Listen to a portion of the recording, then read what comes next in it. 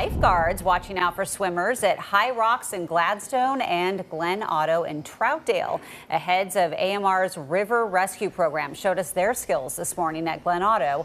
And you can see just how quickly teams are working together to scoop up swimmers and cliff jumpers who get caught in the current. AMR says it's seen a dramatic decrease in the number of drownings because of its program.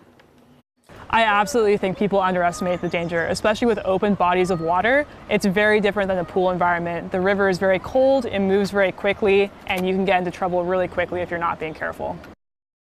It is important to keep in mind the basics. If you plan to swim at river parks this summer, of course, bring a life jacket, test the water before you dive in so you know how cold it is. Also, wear sunscreen and drink plenty of water.